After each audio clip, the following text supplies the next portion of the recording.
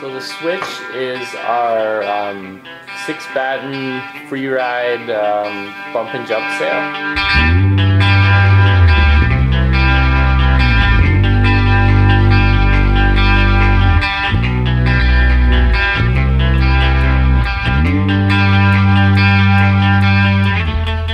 Has quite a wide range of use. Um, it's very stable, so it can be used for uh, powered up, high speed blasting and racing with your friends.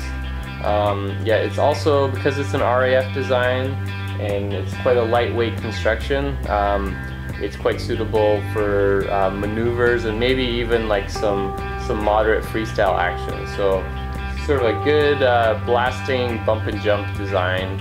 Um, for this year, we uh, reduced the weight a little bit. Uh, we incorporated um, you know, a bit more film in the middle body panels for a crisper feel. Um, still maintained lots of our um, lightweight gradient X-ply to keep the weight down, and also reduce some unnecessary seams. Um, so the Switch is a great all-round uh, free ride bump and jump style. So.